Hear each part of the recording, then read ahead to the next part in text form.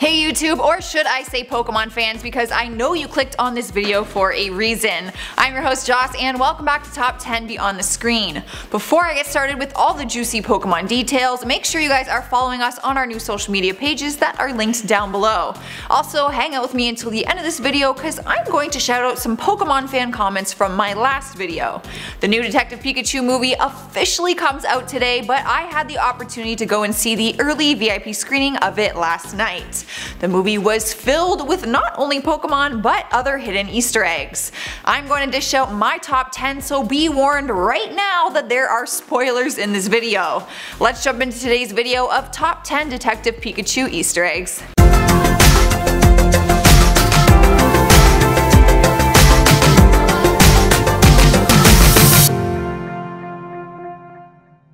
Off our list at number 10 is Jigglypuff put the patron to sleep.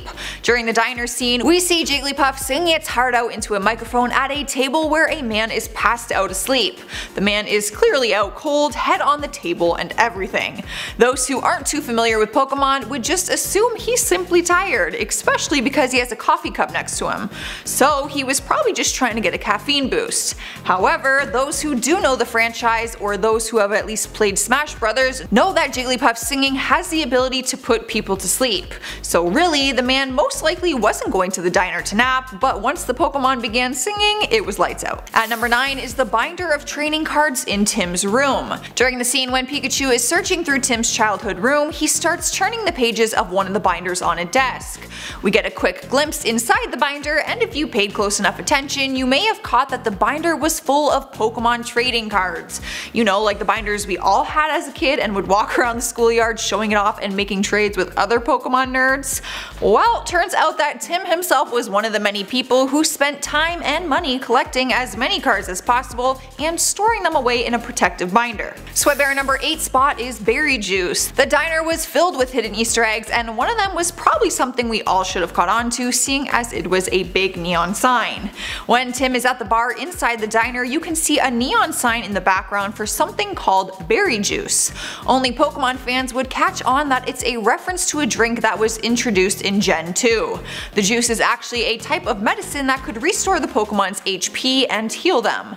Not sure if the bar has rights to be selling medication, but it was a clever way of adding the reference into the new movie. Coming to the number 7 spot is the speakers are actually Pokemon. It was fun to see Tim and Pikachu wander into the underground Pokemon Fight Club, which also doubled as a pretty bumpin' nightclub. But one thing you probably didn't realize about the nightclub scene was the speakers. The speakers aren't just big speakers that you would see in a nightclub today, they are actually a Pokemon named Loudred. These Pokemon have big ears that are actually used as loudspeakers, which are coincidentally just what an underground nightclub would need.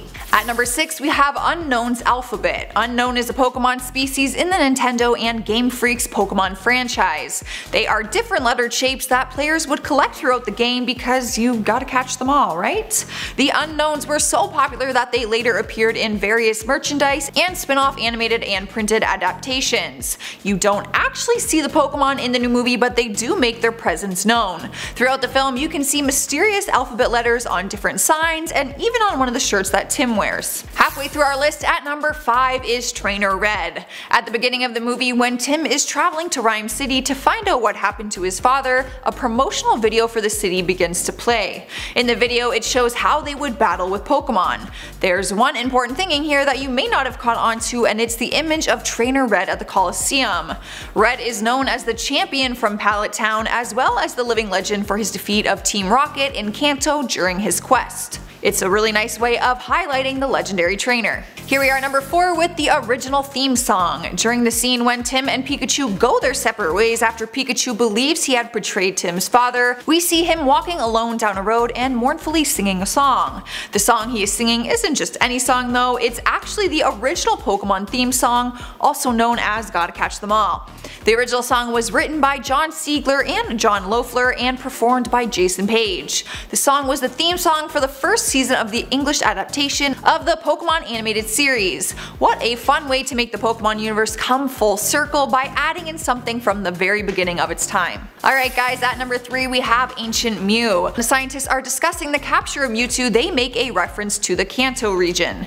They did not create Mewtwo, someone else did from the Mew fossil, they simply caught the Mewtwo. This mention of Mew is an easter egg referring to the Pokemon 2000 movie. The Ancient Mew card was released as a promotional card when the movie came out. It was given out with the purchase of a ticket for anyone going to see the movie in the United States and some other countries worldwide. The card was so special that it was limited to only the first week of the movie release. Number 2 we have the Pokemon Go reference. Remember the scene when Pikachu wants to ride on Tim's shoulders but he refuses? Well, his refusal makes Pikachu say something about how it will take him 100,000 steps to get anywhere. It's not a common thing for people to bring up the number of steps it takes them to get somewhere, which is why it's referring to something that would justify it. Pikachu was actually making a clever reference to the game Pokemon Go, the game that had the world turn upside down as everyone ran around their town trying to collect imaginary Pokemon. One cool feature was added to the game though and that was a step tracker. Throughout the player's day, the game would sync and track their steps which would help them get some bonuses for the game. So Pikachu complaining about having to walk is actually referencing Pokemon Go. Taking the number one spot on our list is the boxing poster. Guys, I have to give credit when credit is due. Our host Johnny from our Gaming and Nerd channel is actually the genius behind finding this easter egg. The poster can be seen in the same scene that Jigglypuff is singing at the table in the diner. Behind Jigglypuff is an old school poster that showcases two fighting Pokemon. The two Pokemon on the poster look like Machamp and Primeape which would make sense since they are Pokemon known for their fighting.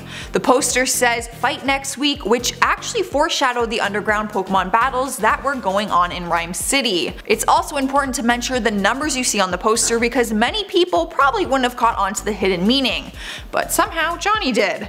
Primeape was the 8th Pokemon that Ash caught in the Kanto region, making his total number of Pokemon 9.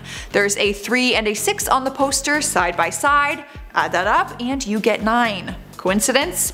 I think not. Alright guys, there's the top 10 easter eggs I could find. Let me know down in the comments which ones you caught on to and any that I missed. For now, let's check out some comments from my last Pikachu video.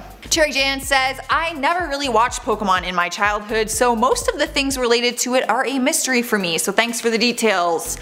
What? Pokemon was a huge part of my childhood. I literally collected those cards like it was my job. I feel really bad. You really missed out. SMWA6773 says, Holy shit, I love Pokemon! You must be freaking out right now because the movie comes out today. Sabrina Elder says, I honestly cannot wait for Detective Pikachu. I am a Pokemon fan and I have been waiting ever since I saw the trailer. Me and my boyfriend are going to see it. He is also a Pokemon fan. I'm so super excited for it and also love your channel so far. Keep up the good work. Thanks Sabrina. Have a lot of fun the movie and let me know what you and your boyfriend think.